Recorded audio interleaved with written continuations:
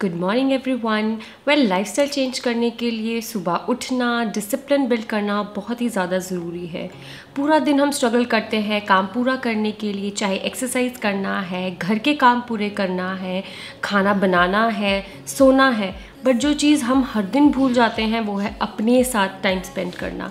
सो so, time हो चुका है मेरा बैल्कनी में जाने का and to have some fresh air and to play with my baby teddy अपना रूम सेट करने से पहले जो चीज़ मैं करती हूँ दैट इज़ ऑयल पुलिंग और ऑयल पुलिंग के लिए मैं यूज़ करती हूँ कोकोनट ऑयल ऑयल को रखेंगे हम मुँह के अंदर 15 मिनट के लिए और हमें इस चीज़ का ध्यान रखना है कि हमें ऑयल को इंजेस्ट नहीं करना है, अंदर नहीं लेना है और 15 मिनट के बाद हम इसे स्पिट कर देंगे। सो इट्स वेरी बेनिफिशियल आपकी बॉडी में से toxins bacterias viruses and fungi को पुल आउट करता है बॉडी को डिटॉक्सीफाई करता है, आपकी कैविटी को हील करता है और आपकी गट हेल्थ को हेल्दी रखेगा तो कहीं ना कहीं आपको वेट लूज़ करने में भी आपकी हेल्प करेगा।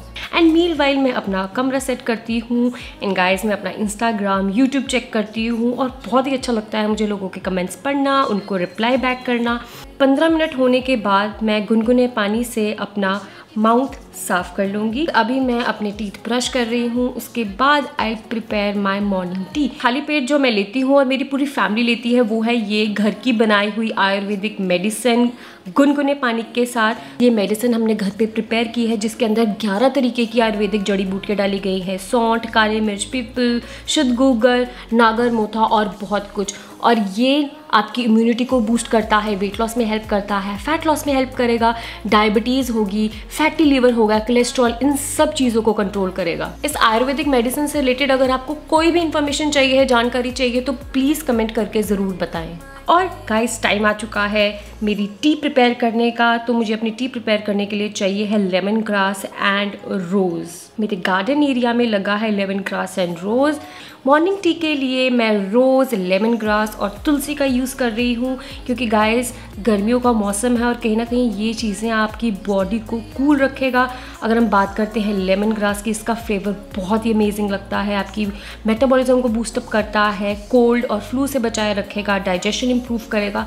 आप चाहे तो टेस्ट के लिए इसके अंदर हनी भी डाल सकते हैं। तो गाइस काफ़ी लोग मुझसे पूछते हैं कि आपको वर्कआउट के लिए मोटिवेशन कहाँ से मिलती है? तो गाइस इसके पीछे एक राज है, एक ट्रिक है। सो so वैसे मैं कोशिश करती हूँ कि मैं जल्दी से जल्दी तैयार हो जाऊँ, क्योंकि जब आप एक बार स्पोर्ट्स के कपड़े पहन लेते हैं तो बहुत ही कम चांसेस हैं कि आप वर्कआउट ना करें। वर्कआउट करने से पहले आप चाहे तो ग्रीन टी ले सकते हैं ग्रीन कॉफ़ी ले सकते हैं या फिर ब्लैक कॉफ़ी ले सकते हैं। अर्ली मॉर्निंग खाली पेट वर्कआउट करना बेस्ट है स्पेशली अगर आप फैट लूज करना चाहते हैं। बट गाइज़ अगर आपसे सुबह सुबह नहीं उठा जा रहा है या फिर आपको कोई काम है देन दैट्स परफेक्टली फाइन आप चाहे तो शाम को वर्कआउट कर सकते हैं या रात को वर्कआउट कर सकते हैं बिकॉज़ कुछ ना करने से अच्छा है कुछ करना।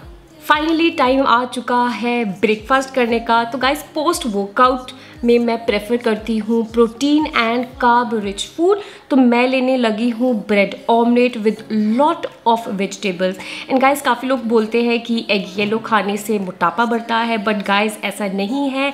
हमारी डाइट में फ़ैट का होना बहुत इंपॉर्टेंट है। अगर हम बात करते हैं एग येलो देसी घी ड्राई फ्रूट्स देन ये सब चीज़ें बहुत ही अच्छा सोर्स है गुड फैट का।